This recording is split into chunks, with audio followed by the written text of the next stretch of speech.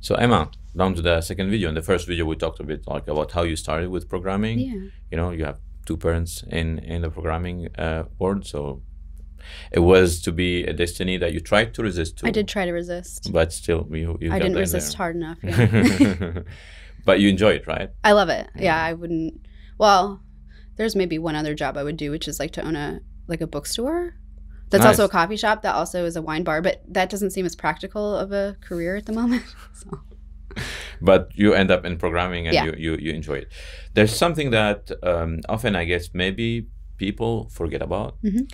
is that when someone is a junior starting a job, like you you had to go through that. You told me and you you went out of your study, you had that kind of huge confidence and you went there and you're like, wow, mhm. I'm a bit ignorant about the, all these kind of things. yeah, Um, and I think it happens more often than we, we think, but just, you know, we don't realize it because we get experience and we think like, oh, this is normal. yeah. So what do you think? What what should, how can we help people already starting? If you remember when you got into that state when you started, what were the things that would have helped you a lot when you Mm. started there? I mean, you had you had confidence, which is great, hmm but even for, with people that have less confidence than you, how how can they deal with it?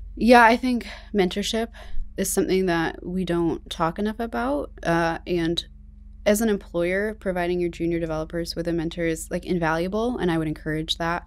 Um, I think for me, coming out of a degree program for computer science, um, I wasn't exposed to as much of the real world knowledge as I needed to be. Versus had I come out of a boot camp, um, maybe that would have changed my perspective. But I feel like my degree, to a certain extent, was just about how to pass an interview. I mean, I, I had to learn data structures, algorithms, all these things, um, but nothing practical. I didn't learn how to build a website from start to finish, full stack. I learned these things in isolation, which is really hard. Um, I didn't know about the fact that there was a whole online ecosystem of t- ways to teach yourself. I didn't know about any online learning platforms. I didn't know Twitter was a, a really popular like tech ecosystem.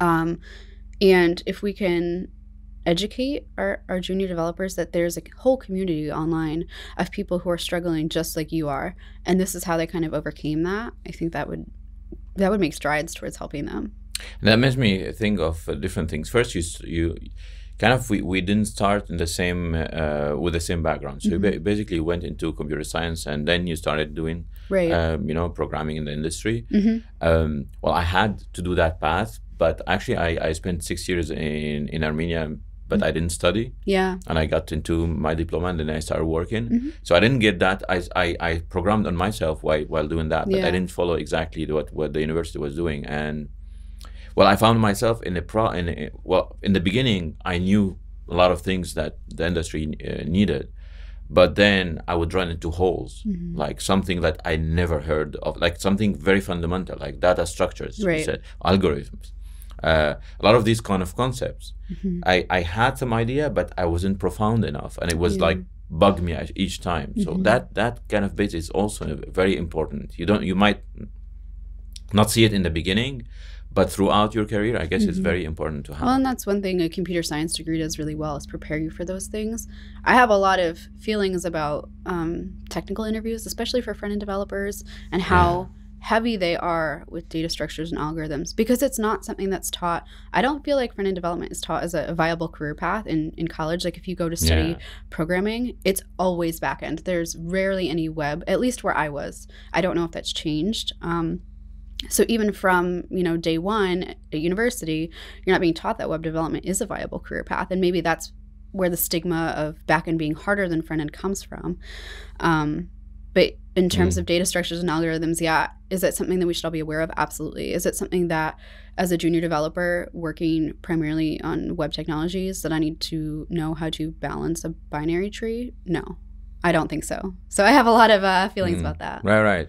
But i guess front end can use a lot of structure and Absolutely. and, and, and a lot of these kind of things. And you talked about interviews and that's also an, uh, an um, one of the things that are a lot of very overwhelming for people Mhm. that are starting it's first it's an unknown process Yeah. and then when you get into it there's this kind of thing where you you know it, it may they make you feel if you're looking online it means you're cheating hmm and this way they they test your current knowledge not what you're capable of Well, they don't test your knowledge; they test your memorization Yeah, skills, memorization which is ridiculous in my opinion. Yeah. If you have to memorize merge sort in JavaScript, how does that indicate how successful you'll be in your career? It doesn't. Do you Mhm. actually understand these core concepts behind these algorithms? That's what's important. And I don't think memorization should play a part in that. I don't think either. Yeah. And you know, often what we do actually, you know, often what we try to do in an interview, and you tell me if that's uh, something you heard of or there, I could learn. Like maybe you know better tactics for for uh, hiring.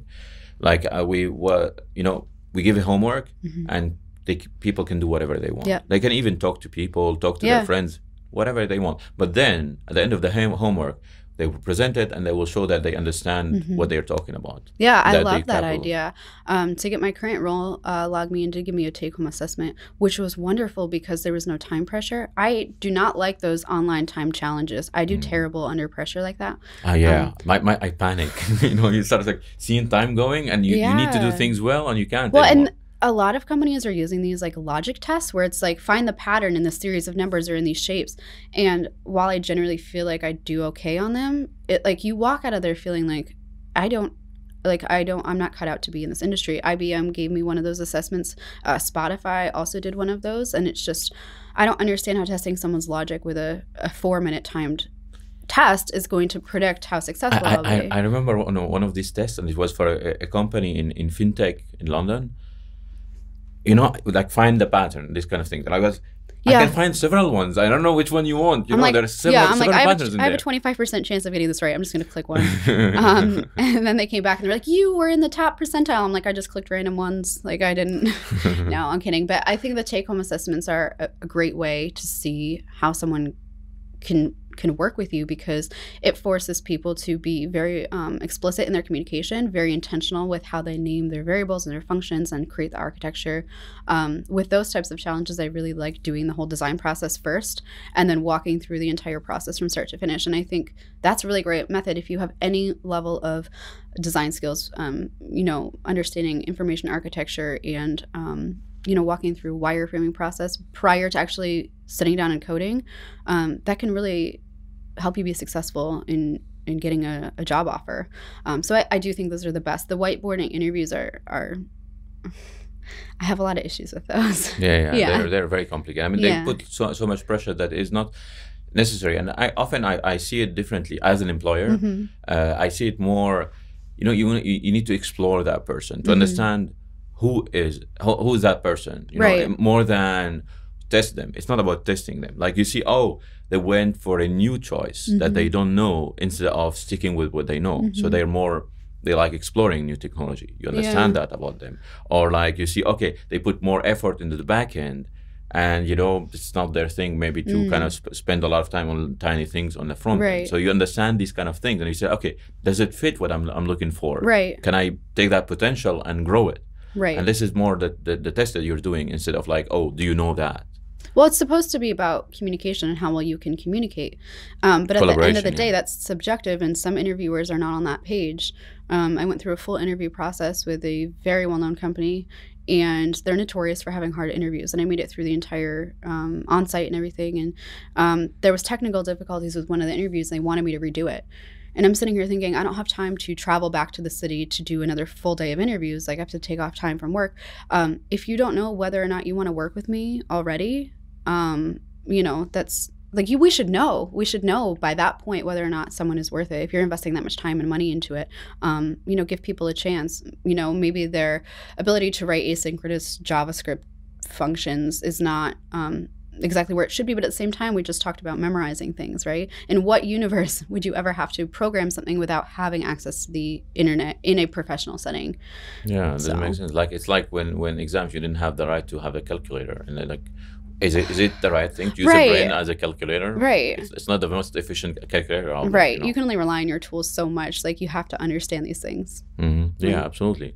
So I, I would um, uh, one one last uh, question about this kind of topic. Now, if you are um, like inter- imagine you are this junior person again, Mhm. and you're interviewing uh, with a company. Mhm. What are the things that the, the must, you know, the the thing that you have absolutely to do before going to that interview? Mm, I still consider myself junior, so this is like right on on par. Um, I would say don't um, take for granted the cultural uh, interviews. I think they're very important. We focus so much on the technical skills, and we forget about the other um, interviews that you might have. You might have one about architecture and how you would actually build a full scale application. Um, how do you you know distribute your your data across like all these servers? Like what kind of scaling do you need?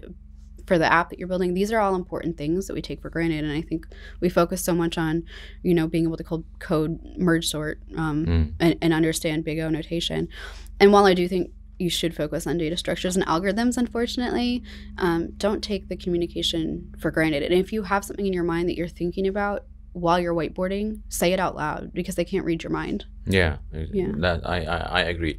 And also maybe a lot of things that you need to i try always to to tell people that and, and you know it's a stressful situation especially when i'm there you know but i, I write at them right right away i tell them like you are testing us mm-hmm. as well as we are you know right. exploring you right? right. You, you you should know you should try to understand is it the right company? Right. Will i be able to grow there? Right. Do, do they apply too much pressure? Right. Will they be able to work with me? And you should right.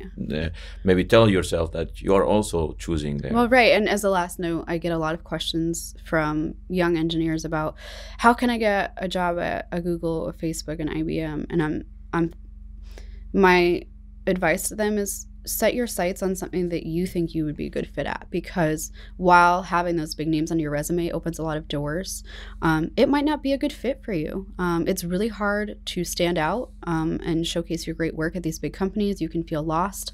Um, and just because yeah. a company isn't of that size does not mean they're not a great company to work for. So i would just remember that you are also interviewing them. Yeah exactly. Yeah. Well thank you